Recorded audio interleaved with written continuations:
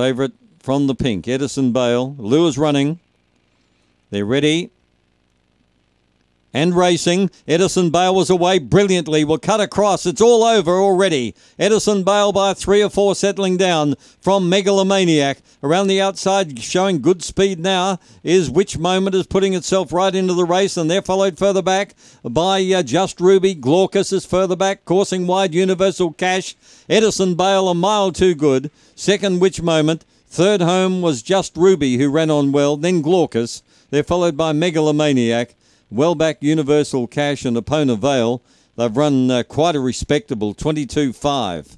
708 early, 1001. That's a really good first section. And home in 1253. Probably got well over at $4 odd. The placings are 8357. Eighth the winner, Edison Bale. A black dog by Magic Sprite from Ellen Bale. It, uh, it uh, changed hands in the Matcott carve up is raced and trained by Kathleen Johnston. Second to number three, which moment, quite impressive run. Third to five, Just Ruby, who uh, once she got clear finished the race off nicely.